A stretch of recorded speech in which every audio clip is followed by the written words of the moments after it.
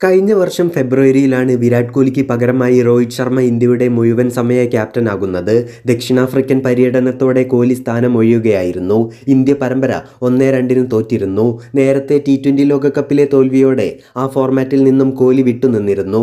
പിന്നീടാണ് മൂന്ന് ഫോർമാറ്റിലും രോഹിത് ക്യാപ്റ്റനാകുന്നത് എന്നാൽ ഇപ്പോൾ പുറത്തു വരുന്ന റിപ്പോർട്ടുകൾ പ്രകാരം ടെസ്റ്റ് ഫോർമാറ്റിൽ നായകസ്ഥാനം രോഹിത്തിന് കൊടുക്കാൻ നൽകിയിരുന്നതല്ലെന്നാണ്. അന്നത്തെ B president Sourav Ganguly secretary Jay Shah എന്നിവർ നായകസ്ഥാനം രോഹിത്തിൽ കെട്ടിവയ്ക്കുകയായിരുന്നുവെന്നാണ് പുതിയ റിപ്പോർട്ടുകൾ. ബി സി സി ഐയുമായി ബന്ധപ്പെട്ട അടുത്ത വൃത്തങ്ങളാണ് ഇക്കാര്യം കാര്യം പുറത്തുവിട്ടത്. പി ടി ഐ പുറത്തുവിട്ട റിപ്പോർട്ടിങ്ങിന് ടെസ്റ്റ് ക്രിക്കറ്റിൽ രോഹിത്തിന് നായകസ്ഥാനം നൽകുന്നതിൽ എതിർപ്പുണ്ടായിരുന്നു.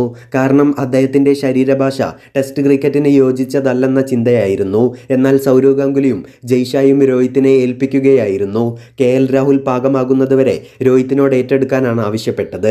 രോഹിത്തിനെ വൈകാതെ ക്യാപ്റ്റൻ സ്ഥാനത്ത് നിന്ന് മാറ്റിയേക്കുമെന്നും റിപ്പോർട്ടിൽ പറയുന്നു. വെസ്റ്റ് ഇൻഡീസ് പര്യടനത്തിന് ശേഷം മാറ്റം വന്നേക്കും. ഡിസംബറിലെ ദക്ഷിണാഫ്രിക്കൻ പര്യടനത്തിന് മുൻപ് മുപ്പത്തി അഞ്ചുകാരനായ രോഹിത്തിന്റെ ക്യാപ്റ്റൻസി സംബന്ധിച്ച് സെലക്ടർമാർ തീരുമാനമെടുത്തേക്കും.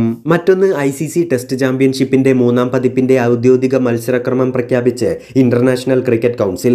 മറ്റന്നാൾ തുടങ്ങുന്ന ഇംഗ്ലണ്ട് ഓസ്ട്രേലിയ ആഷസ് പരമ്പരയോടെയാണ് ഐ സി സി ടെസ്റ്റ് ചാമ്പ്യൻഷിപ്പിന്റെ മൂന്നാം പതിപ്പിന് തുടക്കമാകുന്നത്.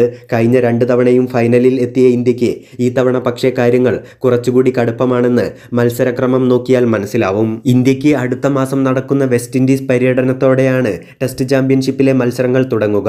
നാട്ടിൽ ഇംഗ്ലണ്ടിനെതിരെ അഞ്ച് ടെസ്റ്റും ന്യൂസിലാൻഡിനെതിരെ മൂന്ന് ടെസ്റ്റും ബംഗ്ലാദേശിനെതിരെ രണ്ട് ടെസ്റ്റും കളിക്കുന്ന ഇന്ത്യ എവേ പരമ്പരകളിൽ ഓസ്ട്രേലിയക്കെതിരെ അഞ്ച് ടെസ്റ്റും ദക്ഷിണാഫ്രിക്കയ്ക്കെതിരെ രണ്ട് ടെസ്റ്റും കളിക്കും. നാട്ടിൽ പത്തും വിദേശത്ത് ഒൻപതും ഉൾപ്പെടെ പത്തൊമ്പത് മത്സരങ്ങളാണ് ടെസ്റ്റ് ചാമ്പ്യൻഷിപ്പ് കാലയളവിൽ ഇന്ത്യ കളിക്കാൻ പോകുന്നത്. ദക്ഷിണാഫ്രിക്കയ്ക്കാണ് ഇത്തവണ ഏറ്റവും അനുകൂലമായ മത്സരക്രമം ഉള്ളത്. നാട്ടിൽ ഇന്ത്യ പാകിസ്ഥാൻ ശ്രീലങ്ക ടീമുകൾക്കെതിരെ ടെസ്റ്റ് കളിക്കുന്ന ദക്ഷിണാഫ്രിക്കയ്ക്ക് ന്യൂസിലാൻഡിനും വെസ്റ്റ് ഇൻഡീസിനും ബംഗ്ലാദേശിനും എതിരെയാണ്. എവേ പരമ്പരകൾ? രണ്ട് വർഷ കാലയളവിൽ മൂന്ന് ഹോം പരമ്പരകളും മൂന്ന് എവേ പരമ്പരകളുമാണ് ടീമുകൾ കളിക്കേണ്ടത്. ഒരു മത്സരം ജയിക്കുന്ന ടീമിന് പന്ത്രണ്ട് പോയിന്റും ടൈ ആവുന്ന മത്സരത്തിന് ആറ് പോയിന്റും സമനിലയ്ക്ക് നാല് പോയിന്റുമാണ് ലഭിക്കുക.